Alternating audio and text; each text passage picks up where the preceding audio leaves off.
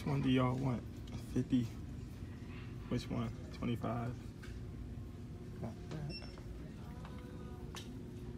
Which one? How many do y'all want? I got y'all.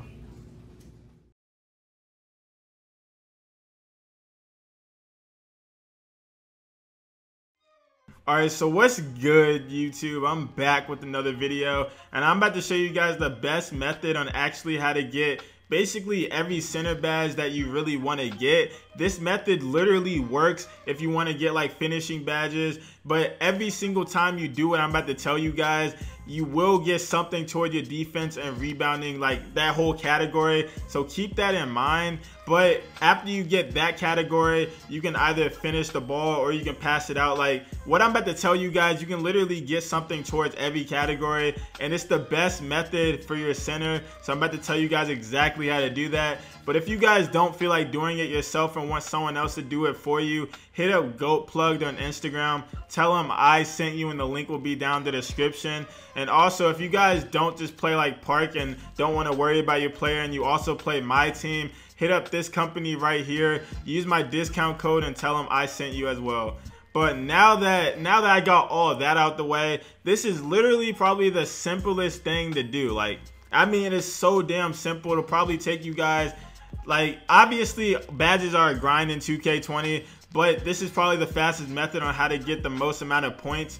But all you really have to do, if you're a center, I'm a paint beast, all right? You can be a stretch forward. This will still work for you as well. But I'm a paint beast, so obviously I'm gonna try to get. I'm gonna try to go for rebounds, and then I'm also gonna try to finish the ball because I want to get the finishing badges and I want to get the defense and rebounding badges. So literally, all you have to do, I'm gonna show you guys on the screen right here once your team gets the ball or you can get it off a rebound, once your team gets the ball or you get it off a rebound, call for the ball and don't even worry about my teammate grade or none of that because I was jacking up a bunch of shots. Like I did not give a fuck about this game only because I literally have like mostly all of my badges maxed out, almost all of them. So I did not care. But I'm literally just calling for the ball and I'm holding the ball until the shot clock runs out.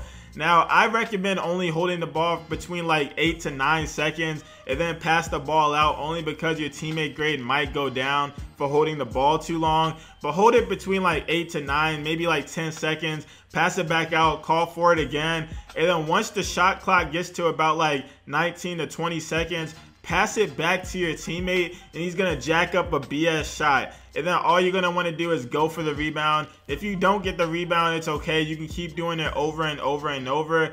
But if you're a good rebounder, all you really have to do is once you pass the ball, just run to the paint and box out, and then just grab the board. And then if you want to put the board back up, it'll go towards the finishing category. But if you want to pass it out, it'll go towards the playmaking category if you get that assist. So it's pretty self-explanatory. Like it's not hard whatsoever. I have Hall of Fame badges. I have a lot of finishing Hall of Fame badges. Well, I don't have a lot for finishing, but I do have a decent amount. But I'm still working on maxing all of it out. But it's uh, either way, it's to be a grind. No matter what method it is, it's to be a grind. But this is probably the best way to get the most experience in the finishing category and the defensive rebounding category. And if you want to get something towards playmaking, just go for assist. And that's literally the best method for centers. This wasn't going to be a long video whatsoever. I don't want to drag it on. I don't want to do any of that. But I did want to give you guys some knowledge. Probably the easiest method out there right now.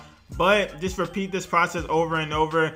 And the worst team that you play, the better it'll be. So just keep that in mind. If you play a team that has like like two good ass centers, then you're gonna probably struggle to get rebounds. Because keep in mind, if you put it on Hall of Fame, it's going to be harder for you. But if you put it on pro, then no matter who you play against, you're probably going to get rebounds either way. But this method is so damn simple that you can literally be like a 60, 65 overall, put it on Hall of Fame, and then put it on 12 minute quarters, and you'll still get rebounds. It's really damn simple. But that's all I got for you guys with this one. It wasn't going to be a long video whatsoever. So if you made it this far in the video, don't forget to like, comment, and subscribe. And peace.